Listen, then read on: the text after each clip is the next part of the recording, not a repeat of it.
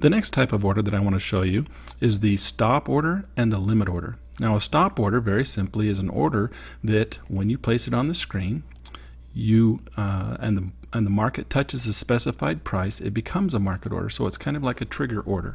So if we want to place a stop order above the market, we just simply click on the stop button we drag on the screen and you'll notice that I have my left mouse button held down. And as long as I hold my left mouse button down I can scroll above the market and it's green. It becomes a buy stop. Track and trade is smart enough to know that the rules of a stop order are that you can you must buy above the market or if I slide below it would be a sell stop. So you must sell below the market.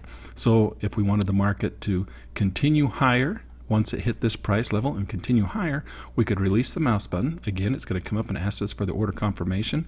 We can say, don't show me this again. Again, confirm the one-click mode for the stop orders. I accept this, say OK. Next time I place a stop order, it will not pop up the confirmation box. But at this point, I now have a buy stop placed above the market. You'll notice that it's green. If the market continues to rise in price, touches this level, and continues to go through that price, I will become profitable from that point on. All right. If I wanted to place a stop order below the market, very simply, I could drag a order, drag it on the screen, and you'll notice that just by releasing the mouse button, I no longer have the confirmation boxes. Now I've bracketed this market. I now have a position on the market where if I buy one, the market will rally and make money, or if it drops, and hits this one, I will sell one, and if the market continues to fall, I will make money. Now let's go ahead and hit exit chart. We're going to remove these two orders.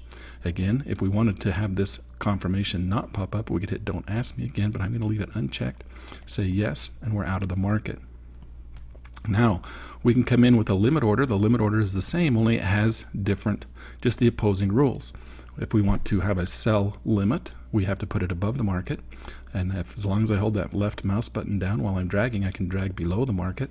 I now have a buy limit, which is below the market. Notice that it turned to green. If I release the mouse button, it drops it onto the screen, and it is now an active order. The market must now come down, touch this price, be filled at or better of the current price specified, and then continue to rally for me to become profitable. If I hit the limit order, put one above the market, you'll notice that it is a sell limit. Again, track and trade is smart enough to know that because it's above the market and the rules for a limit order are that it must sell above the market. If I release the mouse button, I've now bracketed this market. The market must rally up, touch this price, and then drop for me to become profitable. So this is bracketing the market with limit orders.